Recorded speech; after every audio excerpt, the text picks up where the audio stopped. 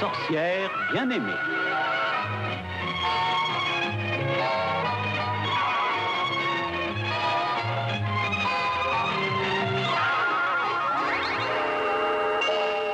Tiens, bonjour maman. Samantha, pourquoi tu es mariée avec ce Jean-Pierre? Maman, la vérité est que tu n'aimes pas Jean-Pierre. La vérité, c'est que tu veux que je meure. Un matin, je vais me réveiller avec une vulgaire grippe intestinale. Avec le souci, ça deviendra un ulcère à l'estomac. Et le soir, je serai emporté par une embolie. Maman, donne-moi un mur pour me lamenter. Tu sais très bien que les sorcières ne peuvent pas mourir. Maman, pourquoi veux-tu toujours empoisonner mon bonheur? Ton bonheur. Parlons-en de ton bonheur. Marié avec un vanupier qui est toujours mal habillé, tout juste bon à faire de la pub. Maman, je te rappelle que Jean-Pierre doit arriver d'un instant à l'autre avec un client pour signer des contrats très importants. On y arrive. Écoute, maman, tu ne peux pas aller faire un tour? Je ne sais pas, aller jeter un sort dans l'espace, quelque chose?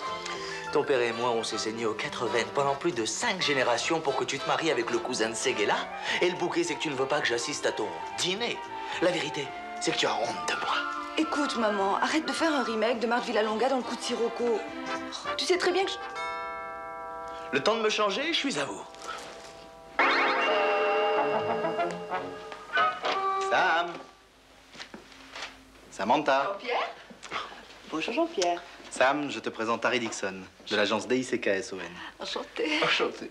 Dites-moi, vous devez avoir beaucoup d'associés Ah non, non, ce sont les initiales de mon nom. En tout cas, ça sent rudement bon, Sam. Vous verrez, Harry, ma femme est un vrai cordon bleu.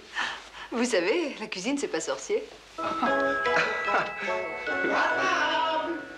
Tiens, et il y a une quatrième personne? Bonsoir. C'est ma belle-mère.